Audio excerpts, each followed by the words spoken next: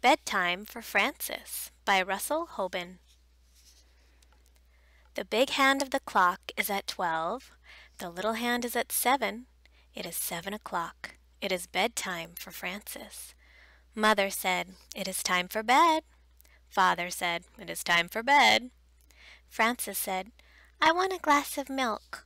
All right, said Father. All right, said Mother. You may have a glass of milk. Frances drank the milk. Carry me to my room, Father, said Frances. All right, said Father. Piggyback, said Frances. So Father carried her piggyback to her room. Father kissed Frances good night. Mother kissed Frances good night. Frances said, May I sleep with my teddy bear? Father gave her the teddy bear. Frances said, May I sleep with my doll too? Mother gave her the doll. Good night, said Father. Good night, said Mother. Did you kiss me? said Frances. Yes, said Mother. Yes, said Father. Kiss me again, said Frances. Father kissed her again. Mother kissed her again. They closed the door. May I have my door open? said Frances. Father opened the door. Good night, said Mother. Good night, said Father. Good night, said Frances. Frances could not sleep. She closed her eyes but she still could not sleep. So she began to sing a little song about the alphabet. She made it up as she went along. A is for apple pie, B is for bear, C is for crocodile combing his hair, D is for dumplings. Frances kept singing through E, F, G, H, I, J, K, L, M, N, O, P, Q, and R and she had no trouble until she got near the end of the alphabet. S is for sailboat, T is for tiger, U is for underwear down in the dryer. Frances stopped because dryer did not sound like tiger. She started to think about tigers. She thought about big tigers and little tigers, baby tigers and mother and father tigers, sister tigers and brother tigers, aunt tigers and uncle tigers.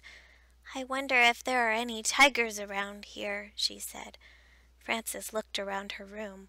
She thought maybe she could see a tiger in the corner. She was not afraid, but she wanted to be sure. So she looked again. She was sure she could see a tiger. She went to tell mother and father. There is a tiger in my room, said Frances. Did he bite you? said father. No, said Frances. Did he scratch you? said mother. No, said Frances. Then he is a friendly tiger, said father. He will not hurt you. Go back to sleep. Do I have to? said Frances. Yes, said father. Yes, said mother. Father kissed her. Mother kissed her. Frances went back to bed and finished her song on the way. She closed her eyes again. She still could not sleep. Frances opened her eyes and looked around. She saw something big and dark. Giants are big and dark, she thought. Maybe that is a giant. I think it is a giant. I think that giant wants to get me.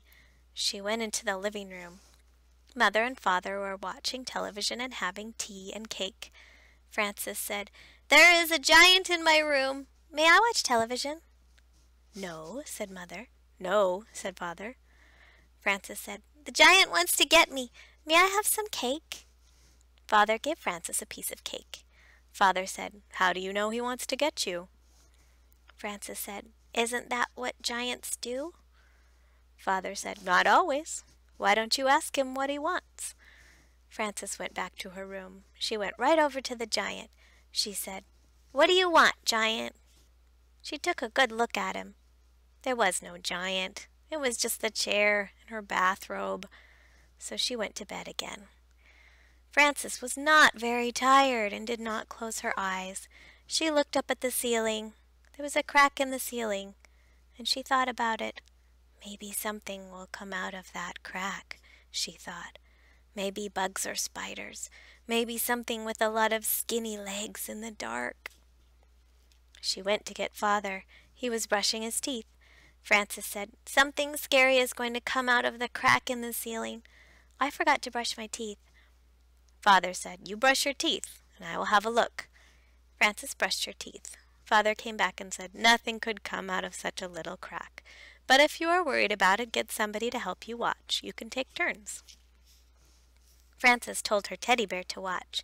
They took turns for a while. Then Frances got tired of it and let Teddy do all the watching. Frances got up and went to the bathroom. When she came back, she was not sleepy at all.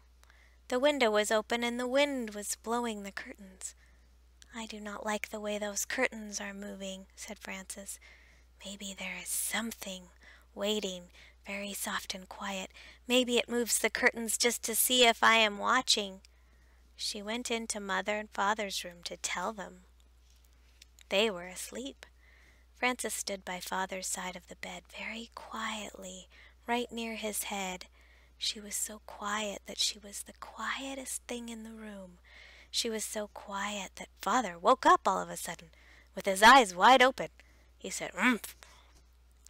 Frances said, There's something moving the curtains. May I sleep with you? Father said, Listen, Frances. Do you want to know why the curtains are moving? Why? said Frances. That is the wind's job, said Father. Every night the wind has to go around and blow all the curtains. How can the wind have a job? said Frances. Everybody has a job, said Father. I have to go to my office every morning at nine o'clock. That is my job. You have to go to sleep so you can be wide awake for school tomorrow. That is your job. Frances said, I know, but Father said, I have not finished. If the wind does not blow the curtains, he will be out of a job. If I do not go to the office, I will be out of a job. And if you do not go to sleep now, do you know what will happen to you? I will be out of a job, said Frances. No, said Father. I will get a spanking, said Frances. Right, said Father. Good night, said Frances, and she went back to her room. Frances closed the window and got into bed. Suddenly there was a noise at the window. She heard bump and thump. I know something will get me this time, she thought. She jumped out of bed and went to tell Mother and Father. When she got to their door, she thought about it some more and decided not to tell them. She went back to her room. Frances heard the noise at the window again. She pulled the covers over her head. I wonder what it is, she thought. If it is something very bad, Father will have to come and chase it away.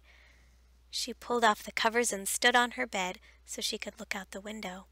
She saw a moth bumping against the window. Bump and thump, his wings smacked the glass. Whack and smack. Whack and smack made Frances think of a spanking. And all of a sudden she was tired. She lay down and closed her eyes so she could think better.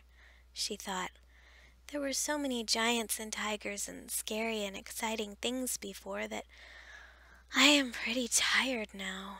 That is just a moth, and he is only doing his job, the same as the wind. His job is bumping and thumping, and my job is to sleep. So she went to sleep, and did not get out of bed again until Mother called her for breakfast. Thanks for listening to Story Time with Amy.